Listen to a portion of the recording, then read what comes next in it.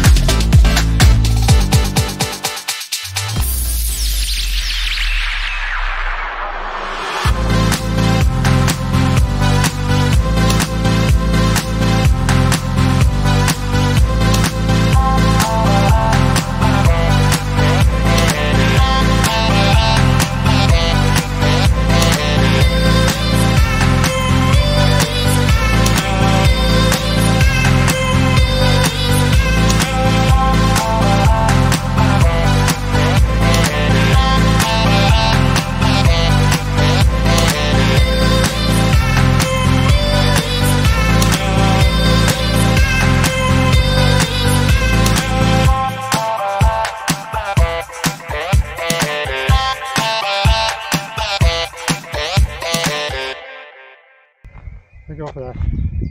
That was a fantastic run. One hour four, including all the stops for the camera. But I wouldn't have it any other way. Fantastic.